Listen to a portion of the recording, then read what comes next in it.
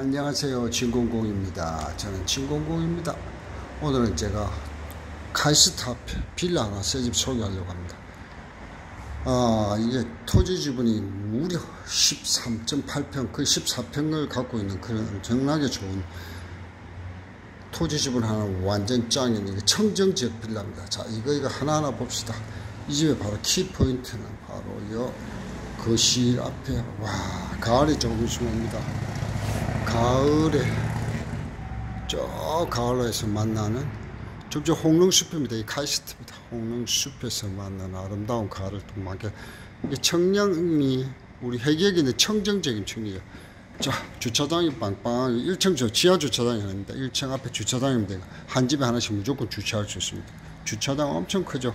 자 이거 베란다입니다. 베란다에서 이렇게 보시면 자, 방을 하나하나 보겠습니다. 여기 시스템 에어컨이 여기 있습니다. 등입니다. 자, 저기 부엌입니다. 주방, 어, 냉장고 자리 여기 있습니다. 자, 여기 화장실입니다. 화장실 이렇게 들어가면은 변기가 있고, 와, 화장실 이거 샤워 따위가 엄청 크고 좋네요. 자, 이게 이제 이게 붙박이장입니다. 엘리베이터 물론 있습니다. 이게. 아, 신발장입니다. 신발장 있고, 엘리베이터 있어요. 엘리베이터 있고, 아니, 문은 이렇게 되어 있고. 자 엘리베이터 이 신발장을 이렇게 큰 신발장이 나오는데 그 다음에 이 작은 방입니다.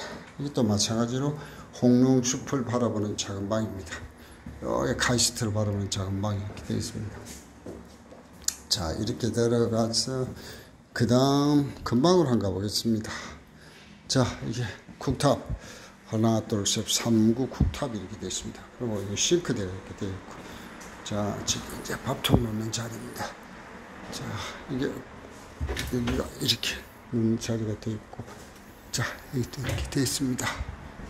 여기도 이렇게 멋지게 되어 있네요. 요게 요게 이제 그 한국 환기통입니다. 자 작은 방입니다. 작은 답은 서양입니다. 이 방도 되게 커요. 작은 방도 서양. 에어컨이 마찬가지로 되어 있습니다. 에어컨 하나 에어컨 둘 이렇게 되어 습니다. 자, 자 이렇게 들어가서 이 방을 보면은 음, 이 앞에 주차장 뭐 저기 정원입니다. 이게 카이스트 아, 기술력 경제 과학기술정보연구원입니다. 그리고 콘텐츠 문화체험원은 정말 환경 하나 공기 하나는 정말 좋습니다. 뒤에 바로 동대문 도서관이 있고요. 그러게 작은 방이면 베란다가 있는 자 마찬가지로 이 방에서도 이렇게 바깥에 홍릉숲이 쫙 보이고 카이스트가 보입니다. 자 이게 베란다입니다. 베란다 베란다에서 여기 세탁기를 놓고 여기 이제 나비 경동 나비 이렇게 마찬가지로 과학기술정보연구원이 이렇게 보입니다. 쭉 저 멀리 고리대도 보이네. 자, 이렇게 형성이 되어 있습니다. 자, 시스템 에어컨 두 개. 자, 큰 방에서 바깥으로 쭉 보겠습니다. 자, 이렇게 밑에서 이렇게 찍었을 때 보고, 위에서도 보고, 아, 어서 이 집을 보러 오세요. 예.